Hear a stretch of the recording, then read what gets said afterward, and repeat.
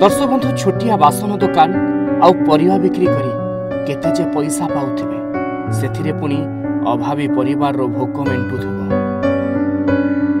ଆଉ ଯଦି ସେଇ ରୋଜଗାରିଆ ଲୋକଟି ରୋଗ ଶଯ୍ୟାରେ ପଡ଼େ ଶେଷରେ ତାର ମୃତ୍ୟୁ ହୋଇଯାଏ ଆପଣମାନେ ଥରେ ଭାବି ଦେଖନ୍ତୁ ତ ତା ପରିବାରର ଅବସ୍ଥା କେମିତି ଥିବ?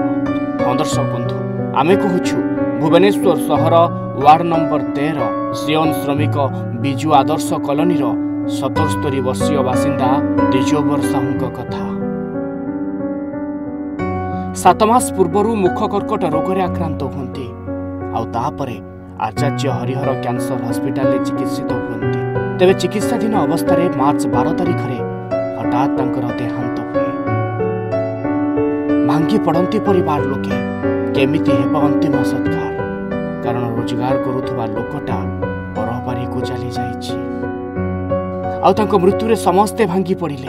ଶେଷ ରୀତିନୀତି କିଭଳି ସମ୍ପନ୍ନ ହେବ ତାକୁ ନେଇ ସମସ୍ତେ ଚିନ୍ତାରେ ଥିଲେ। ଆଉ ଏ ଘଟଣା ସମ୍ପର୍କରେ ୱାର୍ଡ ନମ୍ବର ତେରର କର୍ପୋରେଟର ଶ୍ରୀମତୀ ଇତିଶ୍ରୀ ଦାସ ବିଜୁ ଜନତା ଦଳର ଯୁଗ୍ମ ସମ୍ପାଦକ ଶ୍ରୀ ରୁଦ୍ର ନାରାୟଣ ସାମନ୍ତରାୟଙ୍କ ସହ ଯୋଗାଯୋଗ କରିଥିଲେ। ଆଉ ଏହା ଜାଣିବା ପରେ ଶ୍ରୀ ସାମନ୍ତରାୟ ତୁରନ୍ତ ପଦକ୍ଷେପ ନେଇ ଜୟ ଓଡ଼ିଶା ଶବ ପରିବହନ ଯାନର ଶେଷ ସାଥୀ ମାଧ୍ୟମରେ ଦ୍ୱିଜବରଙ୍କ ମୃତଦେହକୁ ସତ୍ୟନଗର ଶ୍ମଶାନକୁ ନିଆଯାଇଥିଲା। ଆଉ ସେଠାରେ ସମ୍ମାନର ସହ ତାଙ୍କର ଶେଷକୃତ୍ୟ ସମ୍ପନ୍ନ କରାଯାଇଛି। ଏହା ସହ ଶୋକସନ୍ତପ ପରିବାରଙ୍କୁ ଶ୍ରୀ ସାମନ୍ତରାୟ ସାନ୍ତ୍ୱନା ଦେଇଥିଲେ। ଏହି ସମୟରେ ଓଡ଼ିଶା ଆମ ପରିବାରର ସଦସ୍ୟମାନେ ସେଠାରେ ଉପସ୍ଥିତ ରହି ସମସ୍ତ କାର୍ଯ୍ୟ ତୁଲାଇଥିଲେ। ତେବେ ସବୁ ଭିତରେ କିନ୍ତୁ ଓଡ଼ିଶା ମୋ ପରିବାର ଆଉ ଜୟ ଓଡ଼ିଶାର ଏଭଳି ସହଯୋଗର ହାତ ବଢ଼ାଇବାକୁ ସାଧାରଣରେ ଭୁରି ଭୁରି ପ୍ରଶଂସା କରୁଛନ୍ତି।